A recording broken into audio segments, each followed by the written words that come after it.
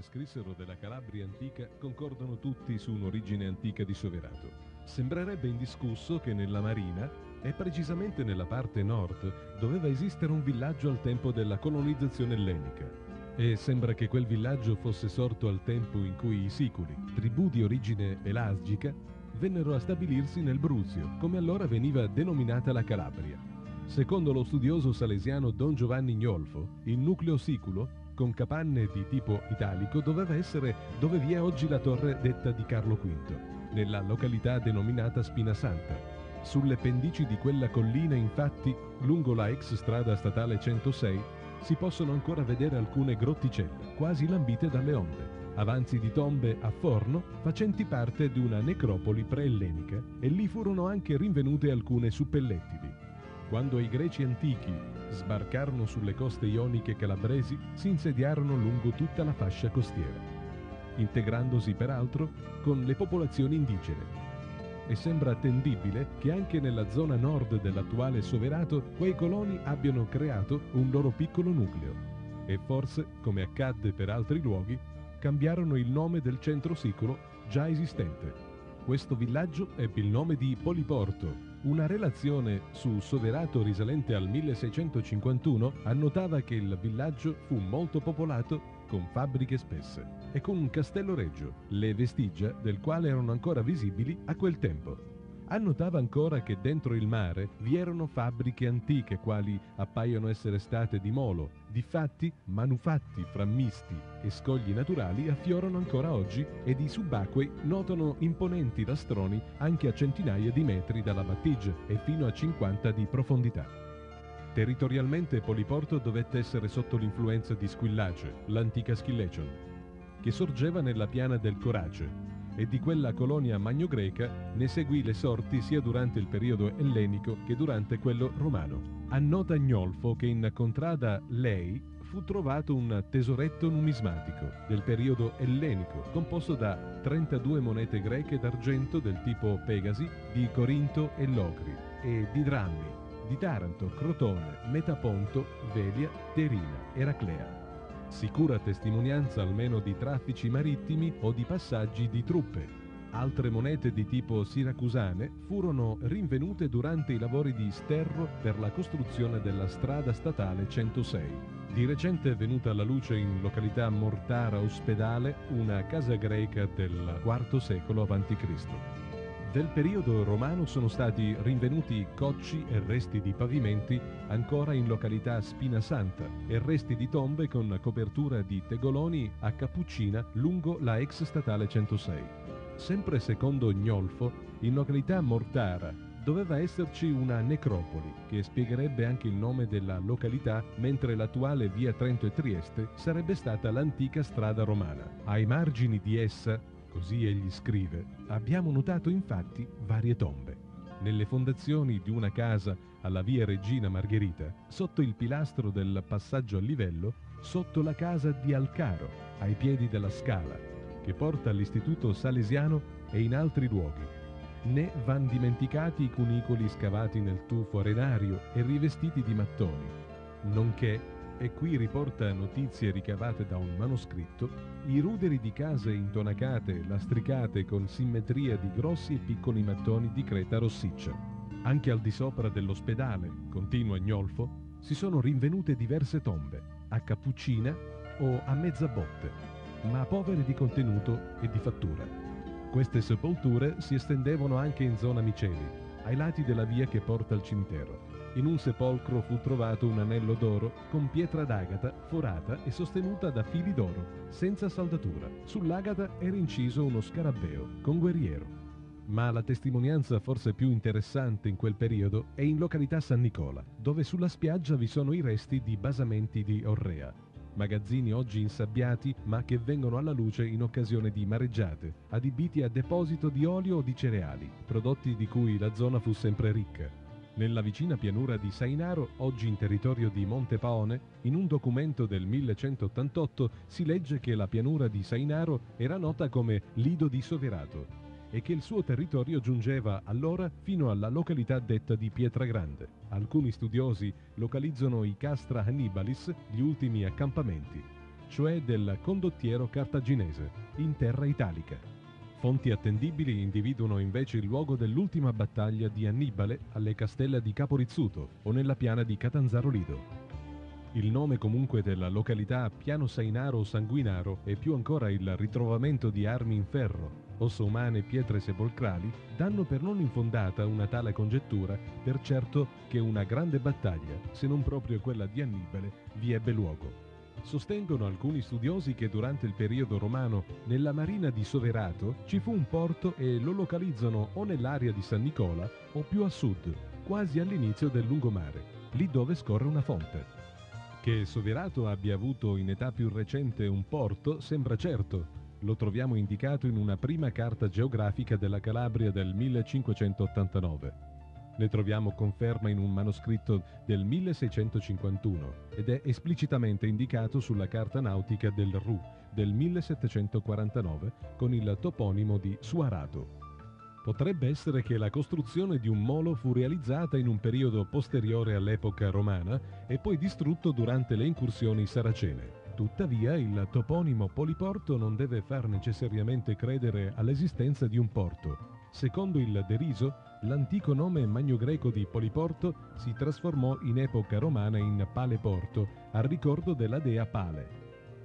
Sulla origine del toponimo esistono varie congetture, il nome di Poliporto vive comunque nella tradizione ed è confortata nelle esplicite e significative indicazioni della torre, che per il luogo dove fu eretta è indicata in tutti i documenti come Torre di Santa Maria di Poliporto. Le vicende del villaggio di Poliporto rimasero legate a quelle di Schillecion. Dei periodi bui che vennero dietro alla caduta dell'impero, con il dominio dei Goti, non si hanno notizie dell'antica Poliporto e neppure del periodo della fluttuante dominazione bizantina. Nell'estate dell'813 gli arabi iniziarono le incursioni sulle coste calabresi. Numerosi furono gli emirati istituiti in Calabria ed uno anche a Squillace dove gli emiri Astacle e Olbec restarono famosi per le razzie fatte su tutto il circondario. Poliporto non fu risparmiata, subì anch'essa vari saccheggi e fu poi distrutta, la popolazione fu costretta ad abbandonare il vecchio sito sul mare e dopo un breve peregrinare si insediò su una piccola collina alle spalle del sito primitivo. Con il trasferimento del villaggio fu mutato anche il toponimo in Suberatum. Anche su questo toponimo esistono varie interpretazioni. Secondo il deriso, esso deriverebbe dal latino super salto, andare oltre. Gli abitanti costretti ad abbandonare il sito distrutto si trasferirono oltre, Sempre in tema di derivazione latina potrebbe anche essere la traduzione volgare di sub erratum, vagare in alto, il che indicherebbe l'esatta condizione della popolazione del momento. I più concordano su una derivazione da suber, sughero, confortati dallo stemma cittadino, che rappresenterebbe appunto una pianta di sughero. Nelle marine abbandonate si diffuse la malaria, le comunicazioni, e non solo quelle viarie, divennero sempre più difficili. L'economia si impoverì irreversibilmente. Al mare i paesi ritorneranno dopo quasi dieci secoli. Così avvenne anche per Soverato. Costretti ad abbandonare l'antico sito, gli abitanti della distrutta Poliporto cercarono un luogo più sicuro per ricostruire il nuovo villaggio e che desse maggiori garanzie al loro futuro. Sembra che in un primo tempo gli antichi poliportesi, molti o pochi non si sa, si rifugiarono in una zona interna, in località più tardi denominata Pietà, e dove agli inizi del 1500 sorgerà un convento di padri agostiniani detto appunto di Santa Maria della Pietà. Potrebbe anche essere che o prima o poi quella gente andò a stabilirsi sempre temporaneamente nella località detta Serra del Sovero, che confinava con la contrada Russomanno, allora anch'essa in territorio di Soverato, e ciò spiegherebbe anche il mutamento del toponimo. Evidentemente però per motivi di sicurezza gli antichi abitanti di Soverato preferirono costruire il nuovo villaggio in una zona che ad essi sembrava più sicura e di più facile difesa ed andarono a stabilirsi sulla collina alle spalle dell'antico sito, circondata per buona parte da un fiume a quel tempo navigabile, il Vetrano, oggi Beltrame. Questa altura, pur protetta dalle colline circostanti,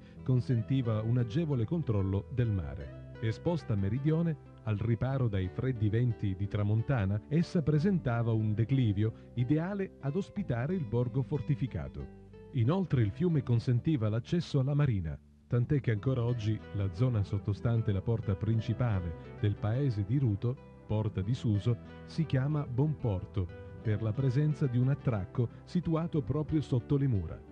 Il paesino contava circa 500 anime, un tipico modello di borgo rurale fortificato medievale. Le case dei contadini si adagiano sul fianco della collina, assecondando la natura del terreno e formando così il tessuto urbano dal quale spiccano gli edifici principali, le due chiese, il palazzo baronale e la grande torre, ormai crollata, che sono situati nella zona più elevata del rilievo. Le viuzze si inerpicavano strette e tortuose lungo il pendio, in modo da smorzare il soffiare del vento all'interno dell'abitato. La loro ripidezza le rendeva difficilmente carrabili e pertanto venivano transitate a piedi o con animali da soma. Nei punti più scoscesi, infatti, esse erano gradonate con blocchi di pietra viva e pavimentate con ciotoli di fiume. Partendo dalle porte, queste stradine si snodavano sul declivio e lungo il perimetro della cinta muraria, tagliando il reticolo delle abitazioni fino alla sommità della rupe, dove si collegavano con il sentiero che percorreva l'intero crinale. Il paese fu cinto da grosse mura di difesa, intervallate da torrette di guardia, ed aveva due entrate principali. A sud la porta di Suso, rivolta a monte e quindi più protetta. A nord la porta di Iuso, che guardava il mare. Ad ovest vi era poi una terza porta, un passaggio secondario usato dai contadini per accedere all'altura limitrofa. Entrambi le porte introducevano ad un piazzale interno importante ai fini strategici perché consentiva agli abitanti di organizzare la loro difesa. Similmente, la porta di Iuso si apriva su un piccolo spazio da cui partivano due percorsi. Quello a destra conduceva sulla piazza e si inerpicava sulla cima della rupe.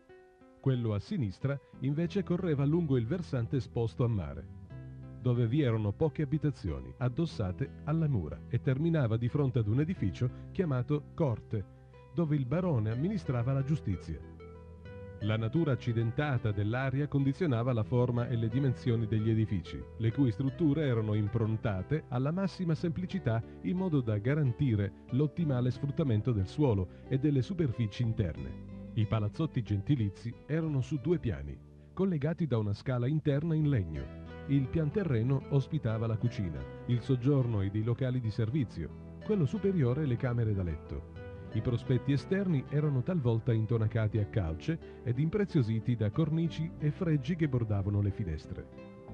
Le dimore contadine erano chiamate catoi, cioè case interrate, poiché le loro pareti spesso venivano incassate nel terreno. L'abitazione era formata da un unico ambiente di modeste dimensioni, utilizzato sia per il giorno che per la notte. Tuttavia, di frequente, la costruzione aveva due piani. Quello inferiore adibito a deposito, ricovero di animali o bottega, quello superiore ad abitazione. Con l'avvento dei Normanni, nei primi decenni del secolo XI e con la istituzione della contea di Squillace, Soverato dovette far parte di quel feudo, ancora una volta legata a quelle vicende come nel periodo ellenico e romano, e quindi nella signoria dei conti Gerardo e Anfuso, che Tancredi d'Altavilla chiamava suoi consanguinei.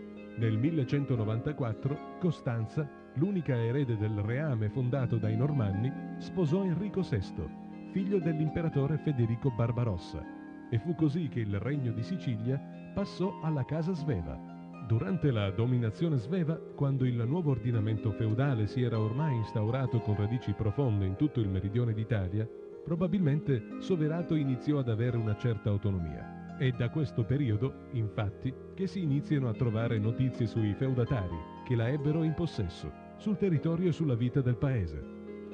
Nel 1213 Federico II, succeduto alla madre Costanza sul trono di Palermo, concesse in feudo soverato a Ferdinando Passalacqua. I Passalacqua pare fossero di origine normanna, venuti in Calabria al seguito del conte Ruggero, e quindi tra quelli che per favori d'armi ebbero feudi nel nuovo regno. Durante tutto il periodo della dominazione sveva, Soverato restò in feudo a quella famiglia.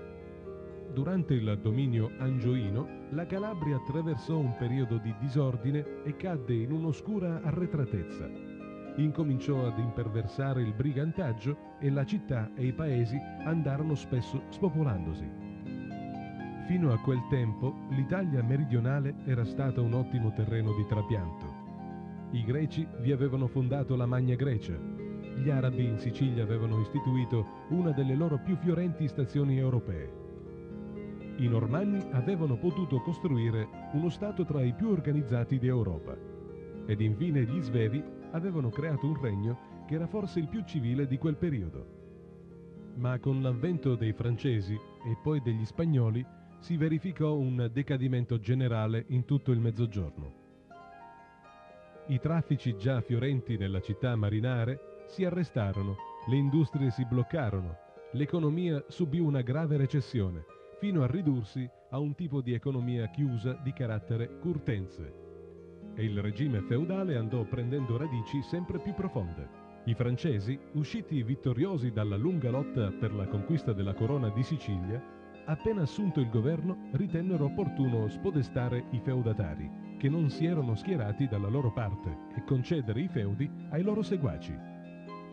Soverato fu tolta e passa l'acqua, evidentemente perché di fazione avversa agli Angioini e nel 1271 andò infeudata la famiglia dei Montfort. I Montfort erano venuti dalla Francia al seguito di Carlo I, del quale erano parenti. Il regno viveva in continua agitazione. La gravezza delle imposizioni fiscali, la prepotenza degli ufficiali francesi, la crudeltà della repressione, avevano reso saturo di odio contro il regime angioino soprattutto l'ambiente siciliano, dove era ancora vivo il ricordo dello splendore della corte normanne sveva ed era profondo e diffuso lo sdegno per il trasferimento della capitale che Carlo I aveva voluto portare a Napoli, eleggendola a nuova sede della corte anche perché più vicina alla Francia. Da tempo gli aragonesi che dominavano in Spagna tramavano per conquistare la Sardegna e la Sicilia. In quelle condizioni bastò una scintilla per far divampare l'incendio. E questa fu la rivolta detta del Vespro, scoppiata in Palermo nel 1282. I ribelli si rivolsero al re d'Aragona Giacomo II e nel 1292, fratello di Giacomo, re di Sicilia. Con la pace di Caltabellotta, nel 1302, fu raggiunto un compromesso. Federico venne riconosciuto re non però con il titolo di re di Sicilia, ma di Trinacria. Alla sua morte gli Angioini sarebbero ritornati in possesso dell'isola. Ma né Federico portò il titolo impostogli, né la Sicilia tornò agli Angioini. Per un secolo e mezzo l'isola rimase staccata dalle province continentali. Tutto il meridione fu scosso da interne contese, disordini e continue lotte per la successione. Tutti gli sforzi di Federico di Svevia che aveva cercato di istituire un'organizzazione liberista, svanirono e il mezzogiorno piombò in pieno feudalismo. Fu anche un susseguirsi di mutamenti nel possesso dei feudi a seconda delle contese dinastiche e quindi dei legami dei vari feudatari con gli Angioini o con gli Aragonesi.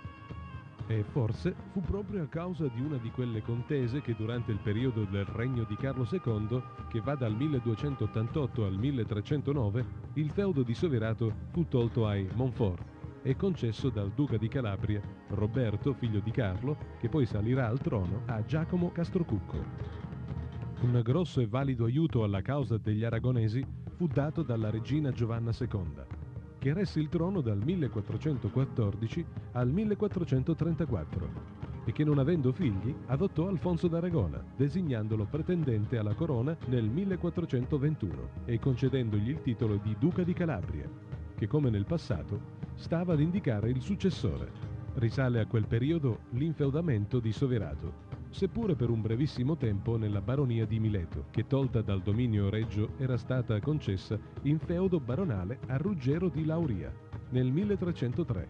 Ricaduta nella contea di Squillace, Soverato passò nel dominio della famiglia Marzano, a cui era stata concessa nel 1317 la contea da Roberto d'Angiò. Le vicende del reame continuarono ad essere assai intrigate. Nel 1423 era stata revocata l'adozione di Alfonso d'Aragona e nominato in sua vece Luigi III d'Angiò, che però moriva nel 1434. L'anno dopo moriva anche la regina Giovanna, che ormai legata alla casa d'Angiò aveva designato suo erede Renato d'Angiò, cugino di Luigi. Nelle lotte per la successione al trono, il conte di Squillace Giovanni Antonio Marzano si era schierato a favore di Alfonso d'Aragona, portando dalla sua parte parecchi feudatari e uomini d'armi e in ricompensa dai danni patiti nel seguire Alfonso concesse a Guglielmo Passalacqua, che si era unito alla sua causa, il feudo di Soverato. I Passalacqua tornavano così nel possesso di Soverato. Alfonso d'Aragona, seppure estromesso, non aveva comunque rinunciato alla conquista del trono e messo da parte l'Angiò nel 1443 conquistava Napoli, istituendo così il dominio degli aragonesi. Fu il trionfo del vecchio baronato.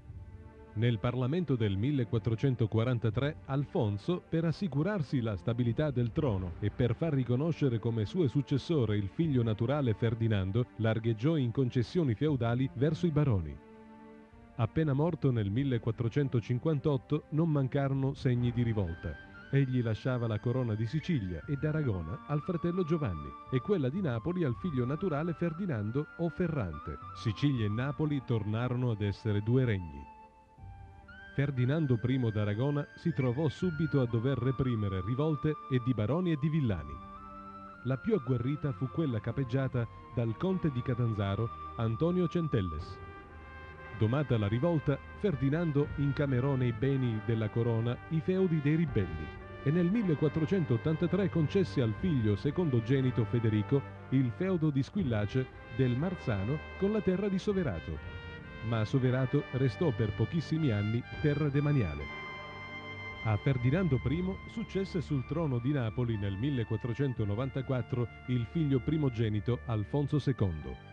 Il nuovo re, dopo pochi giorni dall'incoronazione, maritava la figlia Sancia d'Aragona, di 17 anni, a Goffredo Borgia, di soli 13 anni, figlio di Papa Alessandro VI, e in dote le concedeva diverse città e terre, e tra queste anche il Principato di Squillace, con il titolo di principe.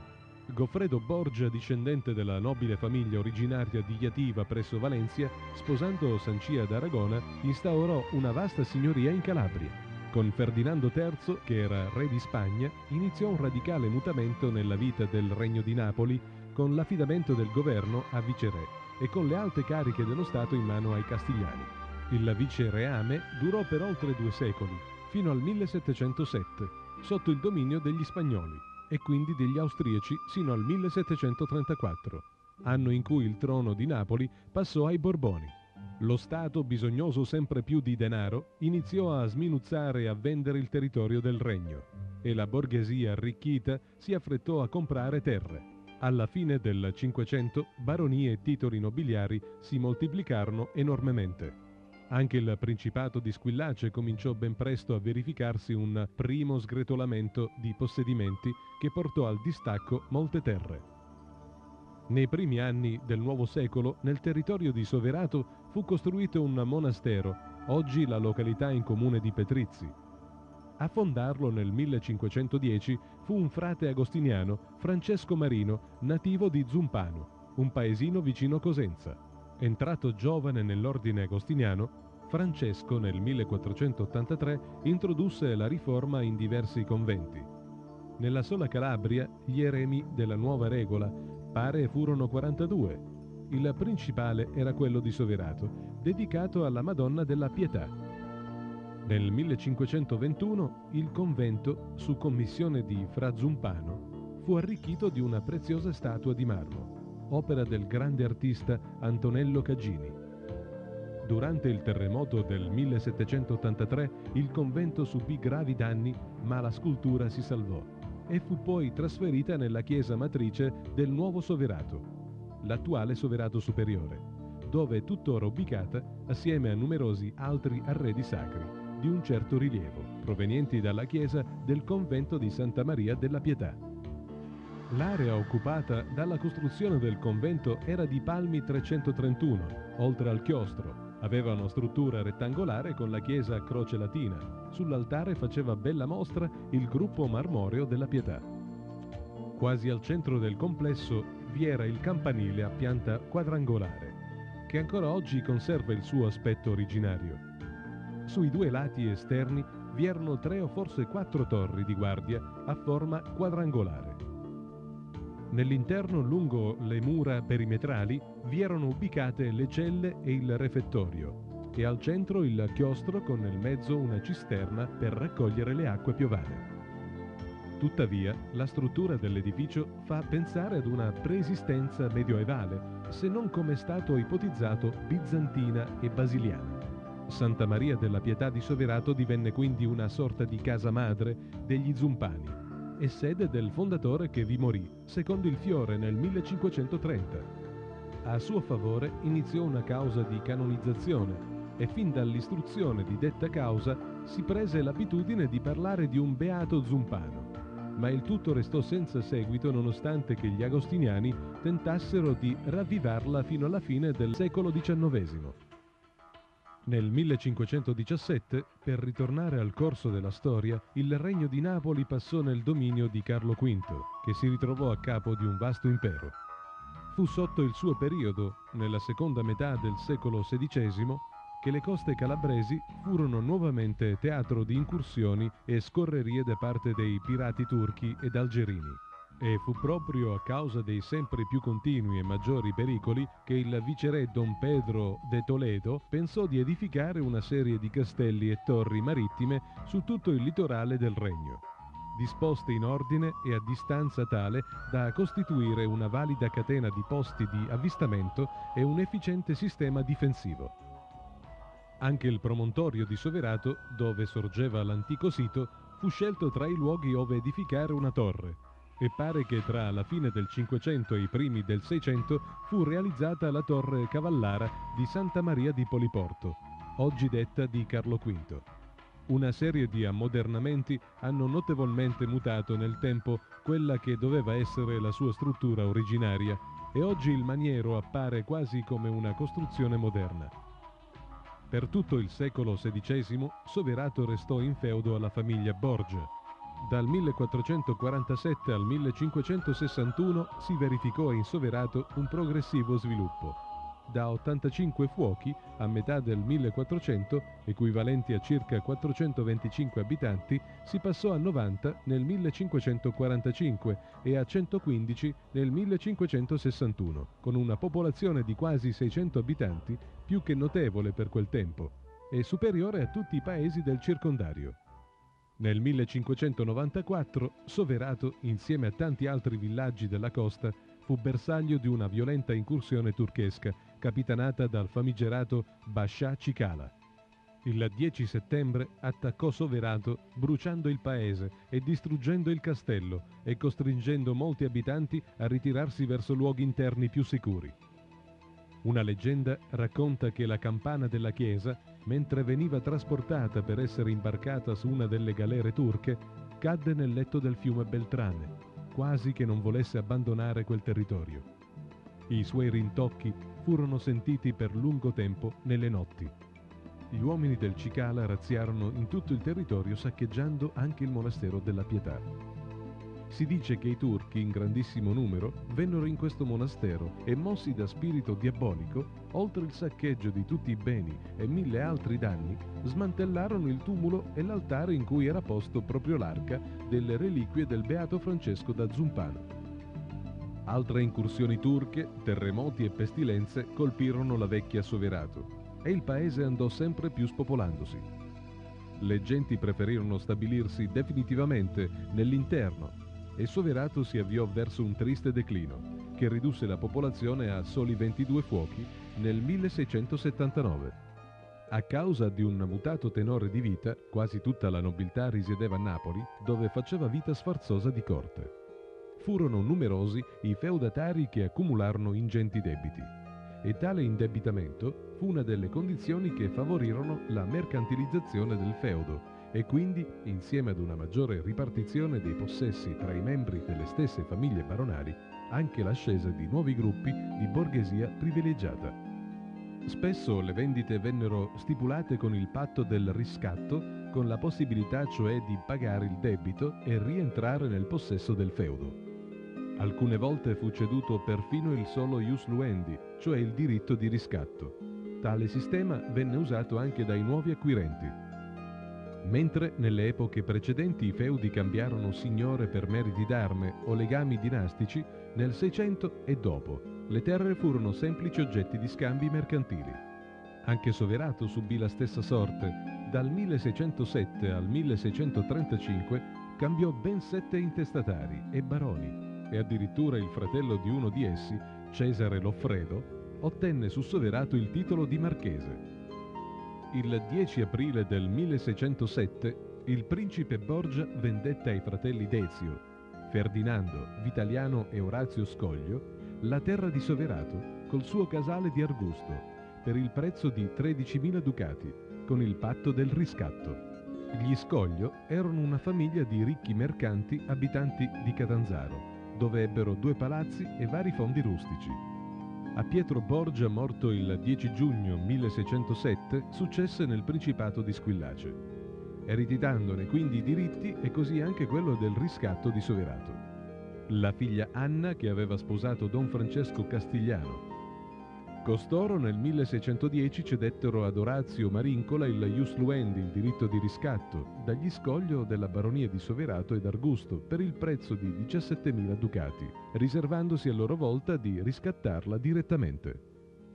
Nel 1613 il feudo di Soverato fu ereditato da Fabrizio Marincola a causa della morte del fratello Geronimo. Nell'anno 1625 la terra di Soverato con il suo casale di Argusto fu ceduto da Don Francesco Castigliano e Anna Borgia a Marcantonio Loffredo, principe di Maida. Nel 1627 e nel 1638 tremendi terremoti scossero la Calabria causando quasi ovunque rovine e oltre 10.000 morti. Non si hanno però notizie sui danni subiti da Soverato. Nel marzo dell'anno 1629 Marcantonio Loffredo, dopo averle tenute in possesso per poco tempo, vendette con rincrescimento dei cittadini, che erano rimasti contenti della sua signoria, la terra di Soverato e il suo casale a Giovan Vincenzo Falco della città di Monteleone, oggi Vibo Valencia, per il prezzo di 26.000 ducati. Salvatore Marincola, dopo aver comprato il feudo di Petrizzi, si stabilì con la sua famiglia in quella terra. Alcuni anni dopo, dallo stesso Vincenzo Falco, che era suo genero, acquistò anche la terra di Soverato con il suo casale di Argusto. Dal 1634 le terre di Petrizzi a Soverato furono in feudo ininterrottamente alla famiglia Marincola, ramo Petrizzi, fino alla eversione della feudalità avvenuta nel 1806. I Marincola erano originari della provincia di Aragona in Spagna e seguirono le sorti di quella dinastia in tutte le loro guerre in Italia. Per quella loro provenienza venivano anche indicati come Marincola di Aragona. In Soverato, Salvatore Marincola e i suoi eredi abitarono nel palazzo baronale di Soverato Vecchia, operandosi per incrementare la marina. I rapporti con la popolazione furono sempre buoni L'ultimo feudatario fu Pietro Marincola che nel 1803 aveva ereditato i feudi del padre Francesco Antonio. Dopo l'eversione della feudalità, alla casa Marincola restarono i titoli di Duca di Petrizzi e Barone di Soverato, ma anche vastissime tenute.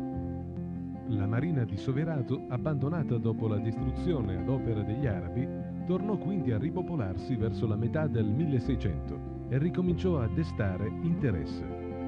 La popolazione però fu restia a spostarsi nella marina, sia per il timore delle incursioni turchesche e sia per l'insalubrità dell'aria. Va considerato inoltre che gli antichi soveratesi erano dediti soprattutto all'agricoltura e alla pastorizia.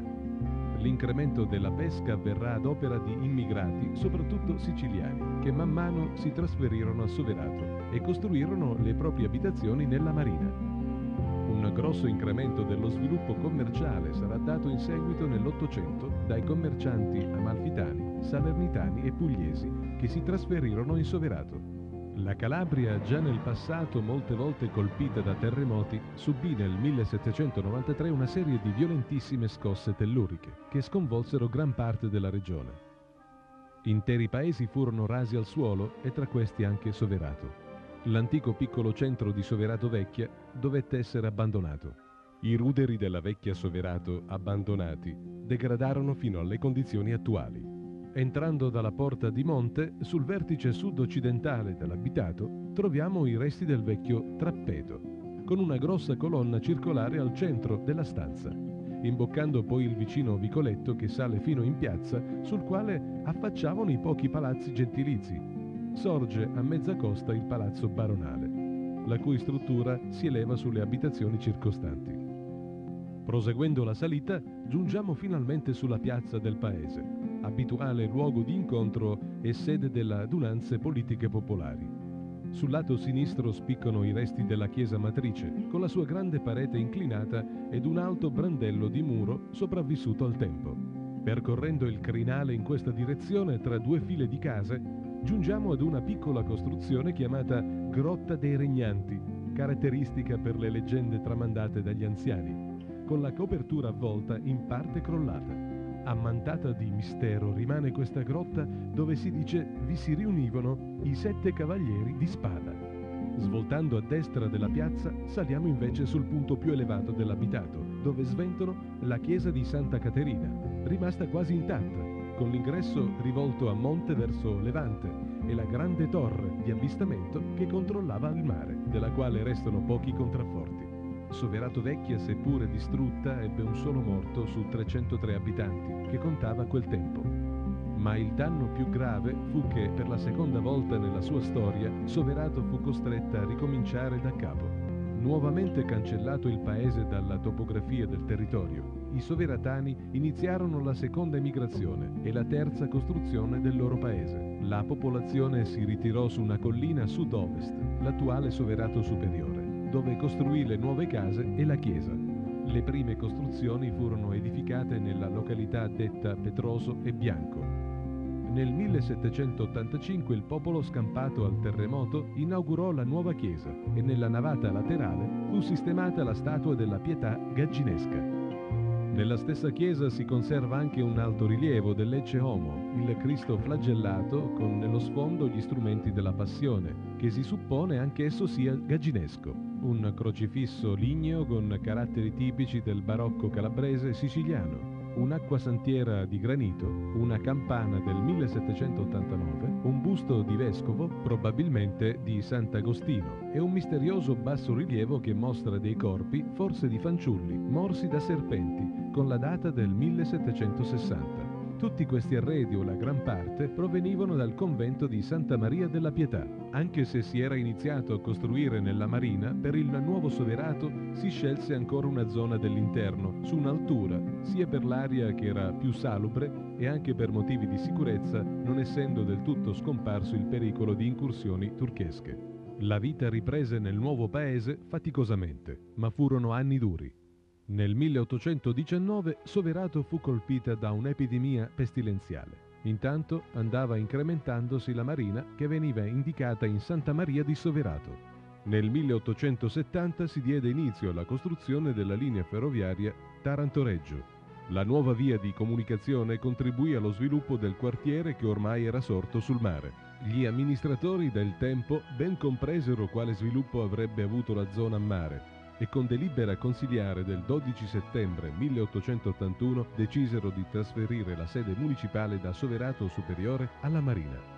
Il ciclo storico si concludeva, il paese ritornava sul luogo di origine e iniziava un nuovo corso. La Marina di Santa Maria di Soverato diventava la nuova Soverato. Questi consiglieri dimostrarono larghezza di veduta e tempestività di scelta, avendo primi fra tutti i paesi del circondario deliberato il ritorno del paese al mare. Fu un susseguirsi di conquiste verso mete sempre maggiori, sia demografiche che economiche. L'aspetto moderno della marina di Soverato, della città di Soverato, non deve tradire, in quanto pur non essendo dotata di testimonianze architettoniche perché distrutte dalle calamità, rimane un'ampia e ragguardevole testimonianza di un passato di storia antichissima su cui poggiare le sue ambizioni.